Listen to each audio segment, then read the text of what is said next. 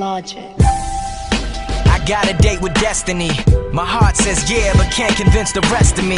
I tried so hard to make it with no recipe. My selfish ways caught up and got the best of me. I need redemption, no need to mention my past. Cause all that matters now is bigger than diamonds and cash. The glitz, the glamour, the lights, the camera, the action, the stage, the fans, the speakers blasting. You know I want it, I need it, don't doubt it, I can't live without it. This is everything I've dreamed of, it's everything I've ever wanted. But is it really truly in my plans? Or did God mix up my blueprints?